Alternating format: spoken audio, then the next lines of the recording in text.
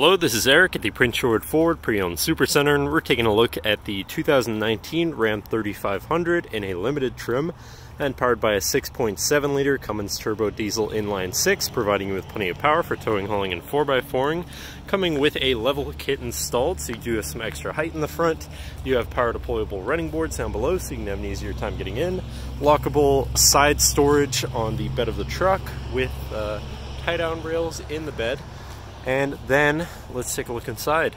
First looking into the back, we have very spacious seating for three with a nice full leather interior that can be lifted up and out of the way to accommodate any other cargo. You have this flip out uh, cargo platform like so, and underneath that you have some storage compartments.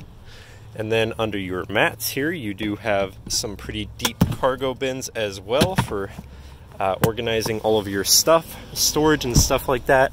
And in the middle, you have fold-out armrests with two cup holders, as well as having two more in the middle here, with two USBs, two USB-Cs, heated rear seats, 115 volt power outlet, and two more cup holders right there. This truck does have a remote start, so no need to go outside on those cold mornings to warm up your vehicle. And looking in, you have power windows, power mirrors, and power locks, as well as two memory buttons for your power adjustable driver's seat, and possibly also your pedals and your mirrors. Now, sitting in the truck with it running, you can see it's sitting at 45,889 kilometers. And moving down to the steering wheel, on the right hand side, you have your cruise controls with distance pacing technology, then your manual gear shift buttons so you can shift through your gears. Uh, to the left, you have your hands free phone controls as well as your controls for your center info screen here, so you can cycle through information such as a digital speedometer, all of your vehicle info, so service info and current stats. And then moving down, you have your driver assistance features and settings, fuel economy, trip info for trip A and B, trailer tow status, currently playing, messages such as warnings, and screen setup in general. You also have your hands-free uh, radio controls on the back side of the steering wheel, as you can see. But then moving on to your center, your infotainment screen, which is Radio Sirius, um, CD, auxiliary, and USB and Bluetooth, so you have some options there for whatever you want to listen to. You have your digital climate controls with dual zone front climate, so you can stay comfortable at different temperatures, as well as having heated and air conditioned front seats and a heated steering wheel, so you can stay comfortable no matter the weather or climate. And then you have apps such as uh, where you can access all of your settings and controls in one convenient spot.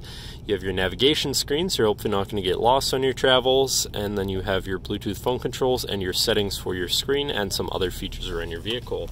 But then shifting into reverse, you do also have a backup camera so you can see where you're going.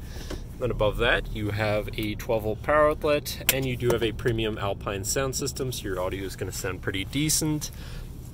Moving down, you have your media controls with your hazards and your traction control shut off, and then your physical climate controls here with dual zone front climate again, but also heated and air conditioned front seats and a heated steering wheel. Um, and then down below that, you have your trailer brake controller, diesel exhaust brake, tow haul mode button, and your front and rear park assist sensor shut off. To the left, you have your 4x4 controls, and then moving down here, you have two USBs, two USB Cs, your auxiliary, CD player, and then you have your center console area here with two cup holders, kind of cubby area there. And then this can be slid out of the way entirely to access your kind of phone holder area here with a wireless charging pad so you can throw your phone on there to charge with a 115 volt power outlet down here too. Then you can slide this back forward and you have your center compartment slash armrest with a USB inside and then you open this up further for even more storage in here. And of course this is where this goes when you move it out of the way. Um, then looking back you have a power sliding rear window like so and last but not least, you do have a power moonroof up top so you can land in the sunshine, but that should cover our look at the interior. So now if you're interested, feel free to give us a call at 250-563-8111 or just come on down to the dealership and have a look for yourself and have a nice day.